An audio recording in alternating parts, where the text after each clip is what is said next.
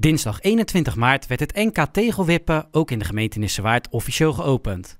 Op de kruising van de Winston Churchilllaan en de Sportlaan in Spijkenisse gaven wethouders Jan-Willem Meijnans en Chris Hottentot het startschot voor dit project waar alle gemeenten in Nederland aan kunnen deelnemen.